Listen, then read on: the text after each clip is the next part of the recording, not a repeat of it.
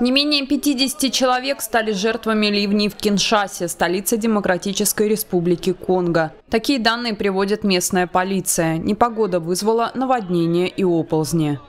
Пока мы спали, на нас упала соседская стена. Слава богу, дети меня быстро вытащили, а остальные погибли на месте прямо рядом с нами. Люди винят плохую инфраструктуру и власти. Мы избрали правительство, которое не в состоянии дать своему народу то, в чем он нуждается. Эта дорога уже давно могла рухнуть. Мы говорили об этом властям, но вот реальность. Им сложно даже построить водосток.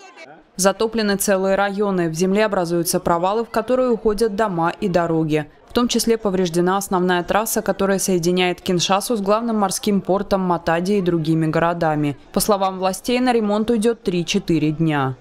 Хочу сказать всем нашим властям, мы конголезцы, мы жили здесь долгое время, а теперь наши дома смыло. Я, например, не знаю, куда идти с детьми. Я вдова с 2015 года, и теперь мой дом смыло дождем. Я не могу найти одного из своих детей, не знаю, где он.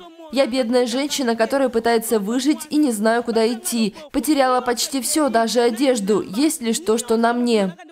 Когда-то Киншаса была обычной рыбацкой деревней на берегу реки Конго, но превратилась в один из крупнейших мегаполисов Африки с населением в 15 миллионов человек. Плохо регулируемая быстрая урбанизация делает Киншасу все более уязвимой перед подобными катаклизмами, а они становятся все более частыми из-за изменения климата.